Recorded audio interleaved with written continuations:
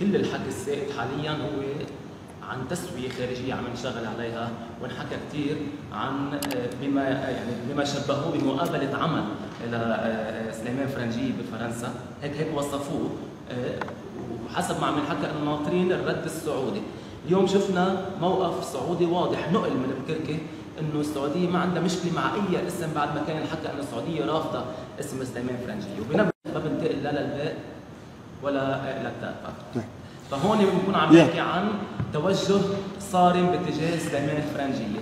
أنا عم ينحكى بس عفوا إيه؟ عن خيارات مقبلة توافقية آه، ممكن تكون قائد الجيش. هي ممكن ينحكى فيها من كل الأطراف. أنا بدي أسألك سؤال.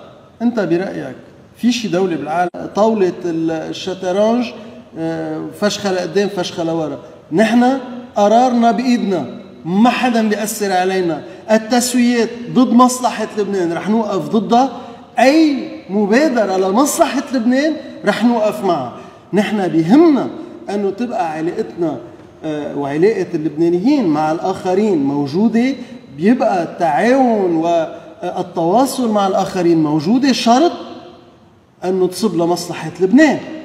ولهذا السبب بدي أكد أمام الجميع أي تسوية على حساب سيادة لبنان من أي مكان أتت رح نوقف بوجهها بكل الإمكانيات المتاحة.